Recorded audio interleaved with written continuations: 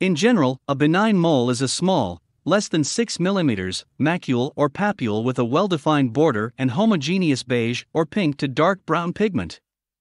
They represent benign melanocytic growths. Moles have a typical natural history. Early in life, moles often appear as flat, small, brown lesions and are termed junctional nevi because the nevus cells are at the junction of the epidermis and dermis. Over time, these moles enlarge and often become raised, reflecting the appearance of a dermal component, giving rise to compound nevi. Moles may darken and grow during pregnancy.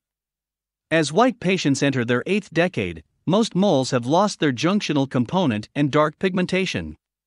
At every stage of life, normal moles should be well demarcated, symmetric, and uniform in contour and color. Regular mole screening is not an evidence based recommendation for all adults, although rates of screening continue to rise.